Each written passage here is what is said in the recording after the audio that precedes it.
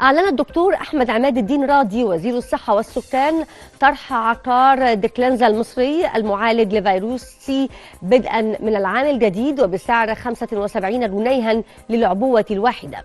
وأشار وزير الصحة إلى أن عقار ديكلانزا المستورد يبلغ سعره 1315 جنيها. موضحا أن عقار السوفالدية المحلي يباع حاليا بسعر 600 جنيه في مراكز الكبد بعد أن كان العقار المستورد منه يبلغ سعره 2200 جنيه في مراكز الكبد التابعة للوزارة.